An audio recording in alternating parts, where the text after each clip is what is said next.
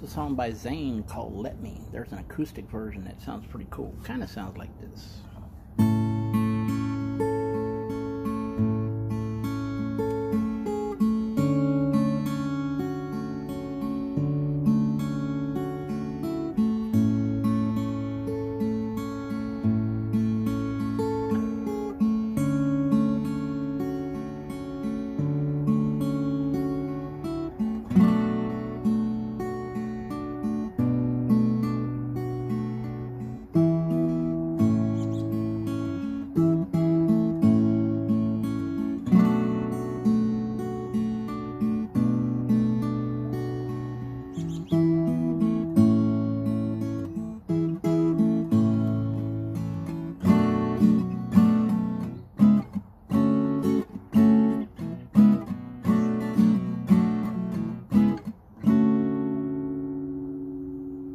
This is the way it's supposed to sound.